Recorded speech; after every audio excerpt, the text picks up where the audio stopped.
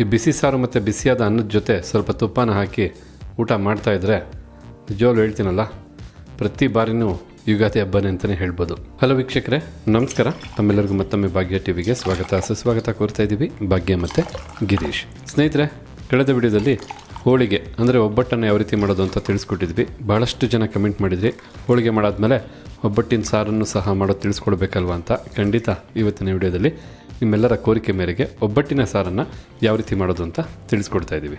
ಹಾಗೆ ಬನ್ನಿ, ಒಬ್ಬಟ್ಟು ಸಾರು ಮಾಡೋದಕ್ಕೆ ಏನೆಲ್ಲ ಪದಾರ್ಥಗಳು ಬೇಕು, ಯಾವ ರೀತಿಯಾಗಿ ತಯಾರು ಮಾಡೋದು ಅಂತ ಈಗ ನೋಡ್ಕೊಳ್ಳೋರಂತೆ.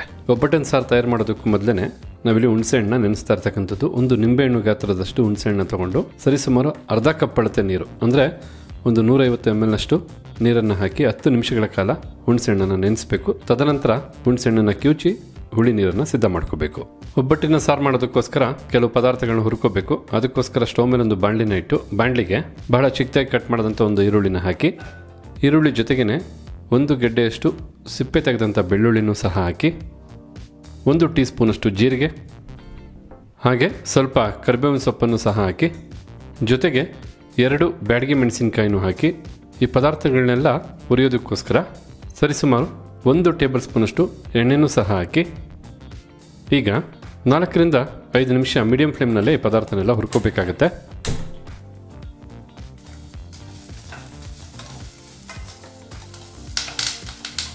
ಈಗ ಇಲ್ಲಿ ಬಾಣಲಿಗೆ ಹಾಕ್ತಂಥ ಎಲ್ಲ ಪದಾರ್ಥನೂ ನಾಲ್ಕರಿಂದ ಐದು ನಿಮಿಷಗಳ ಕಾಲ ಚೆನ್ನಾಗಿ ಮೀಡಿಯಂ ಫ್ಲೇಮ್ನಲ್ಲೇ ಫ್ರೈ ಮಾಡಾಯಿತು. ಈ ಸಮಯದಲ್ಲಿ ಫ್ಲೇಮನ್ನು ಆಫ್ ಮಾಡ್ಕೊಳ್ಳೋಣ. ಹುರಿದು ಬಿಸಿ ಇರತಕ್ಕಂಥ ಈ ಪದಾರ್ಥ ಕಂಪ್ಲೀಟಾಗಿ ತಣ್ಣಗಾಗಬೇಕು. ಸ್ವಲ್ಪ ಹೊತ್ತಿನ ನಂತರ ಒಂದು ಮಿಕ್ಸಿ ಜಾರ್ಗೆ ಹುರಿದು ತಣ್ಣಗಾಗಿರ್ತಕ್ಕಂಥ ಪದಾರ್ಥನ ಹಾಕ್ಕೊಳ್ತಾ ಇರ್ತಕ್ಕಂಥದ್ದು.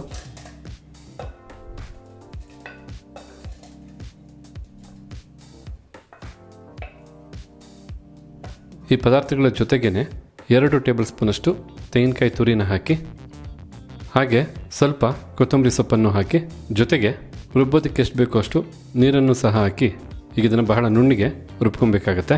ಒಬ್ಬಟ್ಟು ಸಾರು ಮಾಡೋದಕ್ಕೆ ಬೇಕಾದಂಥ ಮಸಾಲ ಖಾರ ಸೂಪರಾಗಿ ಸಿದ್ಧವಾಗಿದೆ. ಹಲವಾರು ರೀತಿಯಲ್ಲಿ ನಾವು ಒಬ್ಬಟ್ಟಿನ ಸಾರನ್ನು ಮಾಡ್ಬೋದು. ಈ ರೀತಿ ಮಸಾಲನ ರುಬ್ಬಾಕಿ ಮಾಡ್ತಕ್ಕಂಥದ್ದು ಸಹ ಒಂದು ವಿಧಾನ. ಈ ರೀತಿಯಾಗಿ ಮಸಾಲ ಪೇಸ್ಟನ್ನು ರುಬ್ಬಾದ ನಂತರ ಇಲ್ಲಿ ಹುಣಸೆ ಹಣ್ಣು ಸಹ ಹತ್ತು ನಿಮಿಷಗಳ ಕಾಲ ನೀರಲ್ಲಿ ನೆಂದಿದೆ. ಈಗ ಹುಣಸೆ ಹಣ್ಣನ್ನು ಕಿವುಚಿ ಹುಳಿ ನೀರನ್ನು ಸಿದ್ಧ ಮಾಡಿಕೊಳ್ಳೋಣ.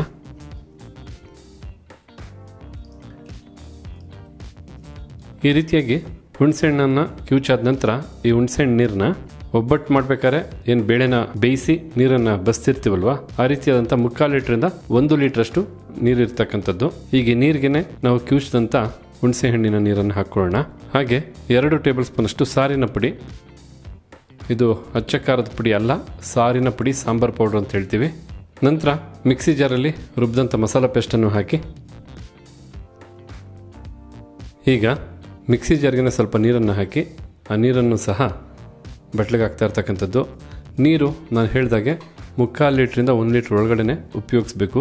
ಬೇಳೆ ಬಸ್ತಂತ ನೀರು ಎಷ್ಟಿದೆಯೋ ಅಷ್ಟರಲ್ಲೇ ಸಾರು ಮಾಡಿಕೊಂಡ್ರೆ ಕಂಪ್ಲೀಟಾಗಿ ರುಚಿ ಸಿಗುತ್ತೆ. ಹೆಚ್ಚು ನೀರು ಸೇರಿಸ್ತಾ ಹೋದರೆ ರುಚಿ ಕಡಿಮೆ ಆಗುತ್ತೆ. ಮರಿಬೇಡಿ.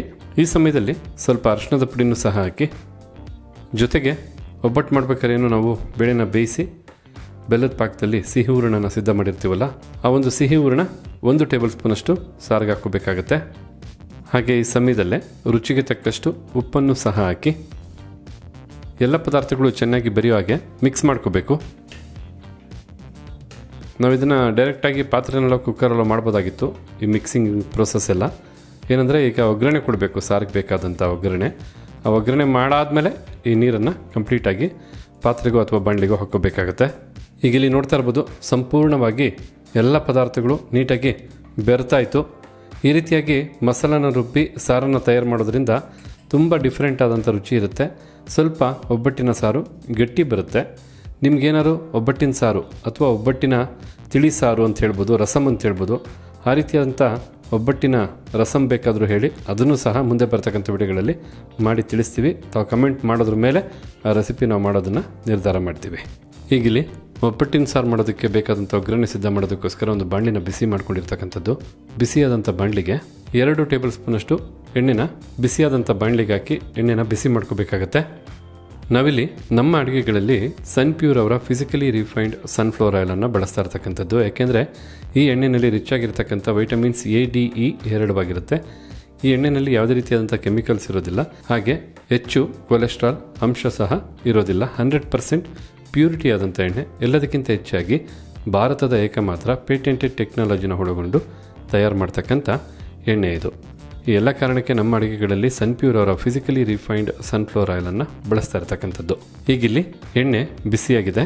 ಬಿಸಿಯಾದಂಥ ಎಣ್ಣೆಗೆ ಸ್ವಲ್ಪನೇ ಸ್ವಲ್ಪ ಸಾಸಿವೆನ ಹಾಕಿ ಈ ರೀತಿಯಾಗಿ ಸಾಸಿವೆನೂ ಸಿಡಿದಾದ ನಂತರ ಸ್ವಲ್ಪನೇ ಸ್ವಲ್ಪ ಇಂಗು, ಹಾಗೆ ಎರಡು ಬ್ಯಾಡಿಗೆ ಮೆಣಸಿನಕಾಯಿನ ಚಿಕ್ಕ ಚಿಕ್ಕದಾಗಿ ಮುರಿದು ಹಾಕ್ತಾ ಇರ್ತಕ್ಕಂಥದ್ದು. ಜೊತೆಗೆ ಸ್ವಲ್ಪನೇ ಸ್ವಲ್ಪ ಕರಿಬೇವಿನ ಸೊಪ್ಪನ್ನು ಹಾಕಿ, ಎಲ್ಲ ಪದಾರ್ಥನ ಒಂದು ಮೂವತ್ತು ಸೆಕೆಂಡು ಬೆರೆಸಿ ಬಿಸಿ ಮಾಡಿಕೊಂಡ್ರೆ ಸಾಕಾಗುತ್ತೆ.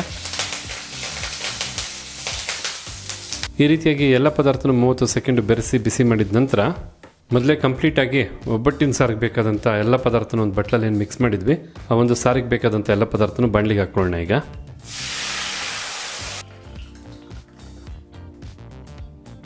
ಈಗ ಒಪ್ಪಟ್ಟಿನ ಸಾರಿಗೆ ಬೇಕಾದಂಥ ಎಲ್ಲ ಪದಾರ್ಥನೂ ಬಣ್ಣಿಗೆ ಹಾಕಿದ ನಂತರ ಒಮ್ಮೆ ಮಿಕ್ಸ್ ಮಾಡ್ಕೋಬೇಕು. ಒಗ್ಗರಣೆ ಜೊತೆ ಚೆನ್ನಾಗಿ ಬೆರಿಬೇಕು.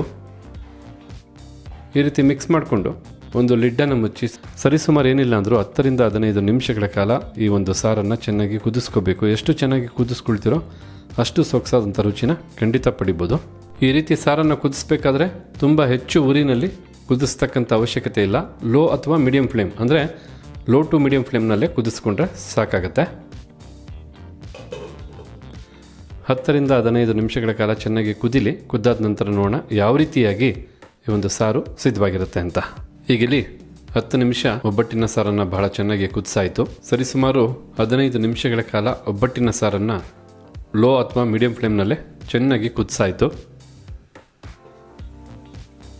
ನೋಡ್ತಾ ಇದ್ರಲ್ಲ, ಸಾರು ಬಹಳ ಚೆನ್ನಾಗಿ ಕುದ್ದು ಬಿಸಿ ಬಿಸಿಯಾಗಿ ಸಿದ್ಧವಾಗಿದೆ. ಒಳ್ಳೆ ಆರಾಮ ಅಂತೂ ಖಂಡಿತ ಬರ್ತಾ ಇದೆ. ಈ ಬಿಸಿ ಸಾರು ಮತ್ತು ಬಿಸಿಯಾದ ಅನ್ನದ ಜೊತೆ ಸ್ವಲ್ಪ ತುಪ್ಪನ ಹಾಕಿ ಊಟ ಮಾಡ್ತಾಯಿದ್ರೆ ನಿಜವಾಗ್ಲೂ ಹೇಳ್ತೀನಲ್ಲ, ಪ್ರತಿ ಬಾರಿನೂ ಯುಗಾದಿ ಹಬ್ಬನೇ ಅಂತಲೇ ಹೇಳ್ಬೋದು. ಈ ಸಮಯದಲ್ಲಿ ಫ್ಲೇಮನ್ನು ಆಫ್ ಮಾಡ್ಕೊಳ್ಳೋಣ. ಬಿಸಿನಲ್ಲೇ ಒಮ್ಮೆ ನೀಟಾಗಿ ಮಿಕ್ಸ್ ಮಾಡಿಕೊಂಡ್ರೆ ಸಾಕಾಗುತ್ತೆ. ಬಿಸಿ ಬಿಸಿಯಾಗಿ ಒಬ್ಬಟ್ಟಿನ ಸಾರು ಸಿದ್ಧವಾಯಿತು. ಹಾಗಿದ್ರೆ ನೋಡ್ಕೊಂಡ್ರಲ್ಲ, ಯಾವ ರೀತಿಯಾಗಿ ಒಬ್ಬಟ್ಟಿನ ಸಾರನ್ನು ಬಹಳ ಸುಲಭವಾಗಿ ತಯಾರು ಮಾಡ್ಕೋಬೋದು ಅಂತ. ಖಂಡಿತ ನೀವು ಸಹ ಇದೇ ರೀತಿಯಾಗಿ ಒಮ್ಮೆ ಒಬ್ಬಟ್ಟಿನ ಸಾರನ್ನು ಮಾಡಿ ನೋಡಿ, ಮನೆ ಮಂದಿಯೆಲ್ಲ ಬಹಳ ಇಷ್ಟಪಡ್ತಾರೆ ಅಂತ ಹಾಗಿದ್ರೆ ಇವತ್ತು ಈ ವಿಡಿಯೋ ಮೂಲಕ ನಾವು ಮಾಡಿ ತಿಳಿಸಿದಂಥ ಒಬ್ಬಟ್ಟಿನ ಸಾರು ತಮಗೆಲ್ಲರಿಗೂ ಇಷ್ಟ ಆಗಿದೆ ಅಂತ ತಿಳ್ಕೊಂಡಿದ್ದೀನಿ. ಇಷ್ಟ ಆಗಿದ್ರೆ ವಿಡಿಯೋಗೊಂದು ಲೈಕ್ ಮಾಡಿ.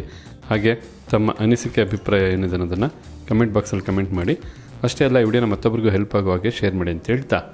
ತಮಗೆಲ್ಲರಿಗೂ ಧನ್ಯವಾದನ ತಿಳಿಸ್ತಾ ಇದ್ದೀವಿ. ಭಾಗ್ಯ ಮತ್ತು ಗಿರೀಶ್. ಮತ್ತೊಂದು ಹೊಸ ವಿಡಿಯೋದಲ್ಲಿ ಹೊಸ ರೆಸಿಪಿ ಜೊತೆ ತಮ್ಮನ್ನು ಭೇಟಿ ಮಾಡ್ತೀವಿ. ಅಲ್ಲಿವರೆಗೂ ನಮಸ್ಕಾರ ವೀಕ್ಷಕರೇ.